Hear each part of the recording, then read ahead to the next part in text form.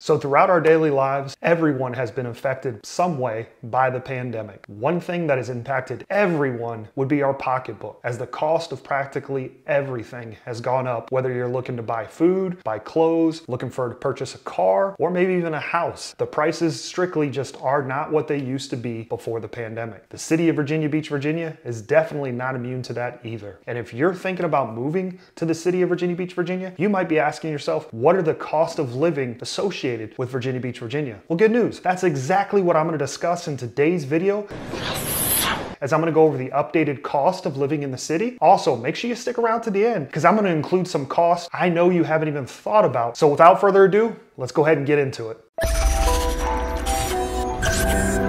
The city of Virginia Beach, like all the other cities throughout the country, has really seen prices increase coming out of the pandemic. When we're looking at cost of living, I'm gonna use an online resource called bestplaces.net. They have some indexes they show that compare the cost of living in the city of Virginia Beach to the state of Virginia, also to other cities throughout the country. This index is based on a 100 point scale, so anything over 100 means it's a little more expensive to live there. Anything under 100 means it's cheaper to live versus the national average. To give you an overall cost of living for the city of Virginia Beach, they're at a 103.3, and then the state of Virginia is at a 104.2. So as you can see, it is a little more expensive to live in the city of Virginia Beach compared to the national average. But what we're gonna do is dive into each category that I think is really important when you're looking to move somewhere, and then we're gonna talk about some additional costs you hadn't thought of. So let's go ahead and get into my first one. So food costs is something you have to consider no matter where you live, because you always gotta eat. However, in the city of Virginia Beach, Beach, according to bestplaces.net, it's actually pretty reasonable to eat in Virginia Beach, Virginia, as it was given a 100.3 index for the cost of living on food.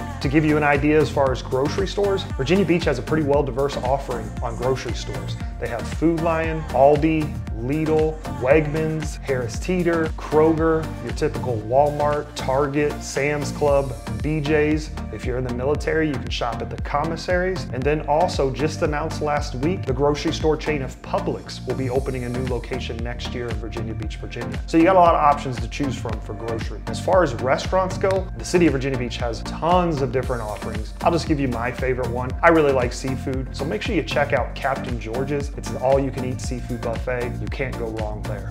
All right, moving along, the first cost I'm gonna talk about that you won't find on bestplaces.net is one that's very important if you have children, and that would be the cost of daycare. According to a recent article in our local newspaper, the Virginian Pilot, the cost of infant daycare has gone up 11% versus 2018, and infant daycare can cost as much as $13,000 a year. If you have a little bit older kids from toddlers and up, I see price ranges vary from between $200 a week all the way up to $350 a week for full-time care depending on what location you choose. So as you can see, daycare is gonna take a big chunk out of your pocketbook if you're moving to Virginia Beach or practically anywhere as the cost of kids not. Another important cost to consider will be the cost of healthcare. As far as bestplaces.net goes, it gave Virginia Beach, Virginia an index of a 105.2. So it is a little more expensive for healthcare in Virginia Beach compared to the national average. As far as hospitals go, we have a company called Sentara that pretty much runs most of the hospitals in our area.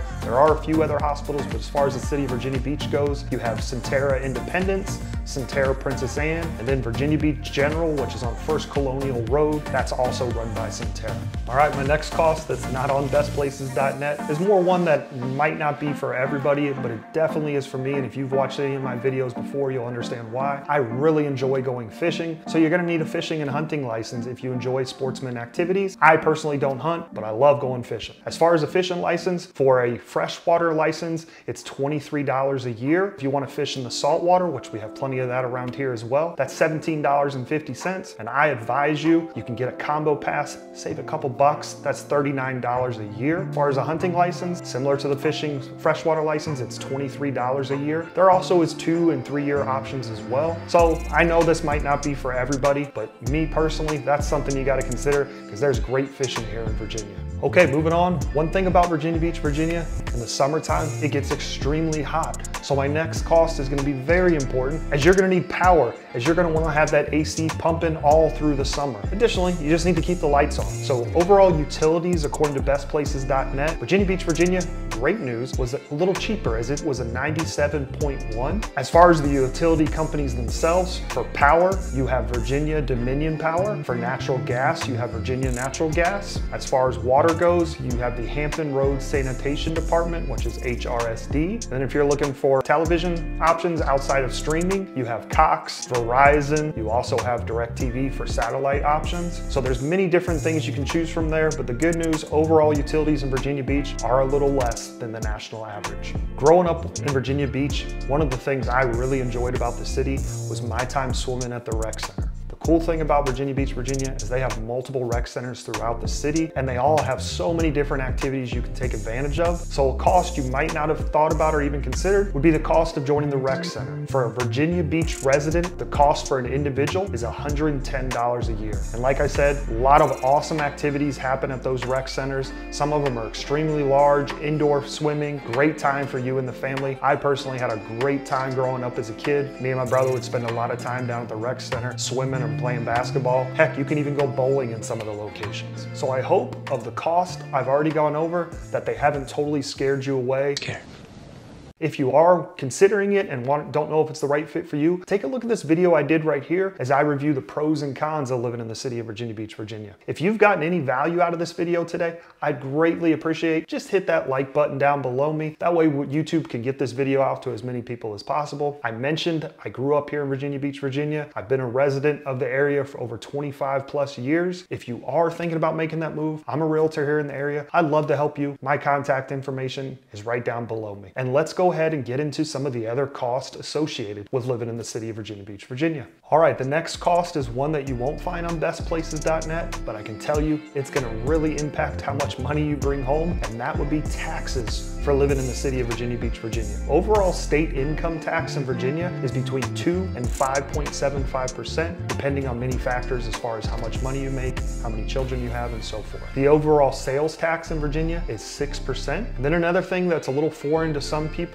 outside of Virginia would just be the property taxes you have to pay in Virginia. But in Virginia Beach, Virginia, it's a little less than some of the other cities as you're gonna pay $4 per $100 of value for any vehicle or boat that you possibly have. If you own a house, you're gonna have to pay real estate taxes. Good news for you here, you can't get away from the taxes, but in Virginia Beach, Virginia, it is the lowest in all of Hampton Road. Currently in Virginia Beach, Virginia, you're gonna pay 99 cents per $100 of assessed value. To give you an idea what that equates to, if you have a $300,000 house, your annual property taxes will be $2,970 a year. So as I mentioned, it might not be in bestplaces.net, but taxes is something you're definitely gonna have to think about if you're coming to the city of Virginia Beach, Virginia, or any city in Hampton Roads. The next cost I'm gonna go over is actually a little cheaper in Virginia Beach, Virginia, and that would be the cost of transportation. According to bestplaces.net, it was given a 98 on the index scale. And I will tell you in Virginia Beach, Virginia, we do have bus service, but quite honestly, it's really not widely used across the city. So if you do have a car, one thing you're gonna wanna consider regardless of the cost is the traffic you might have to deal with going throughout the city. So take a look at some of my other videos I've done where we dive into that a little further.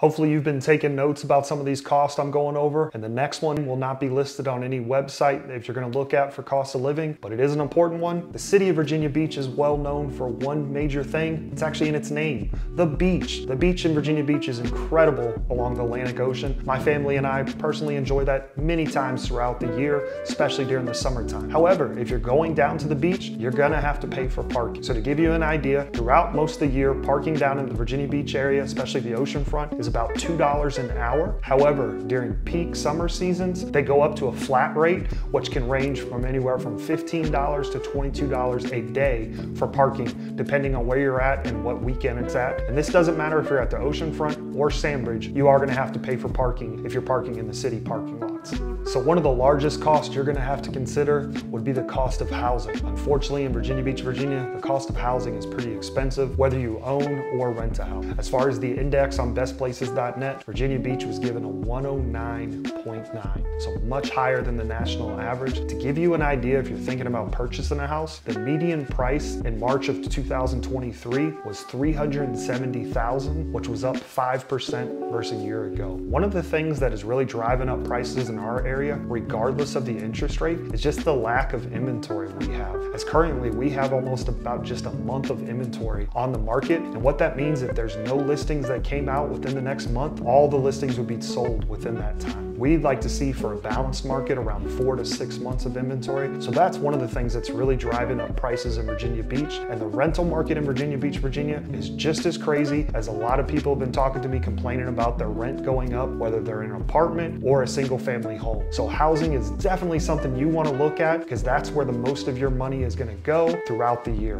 As far as housing goes, you might be asking yourself, where should you live in Virginia Beach, Virginia? Well, reach out to me. My contact information is right down below. That way we can review the different areas throughout the city and what meets your needs the best. If you haven't decided whether Virginia Beach is right for you, take a look at the video I did right here on the pros and cons of living in the city. And until the next video, thanks for watching and I hope you have a great day.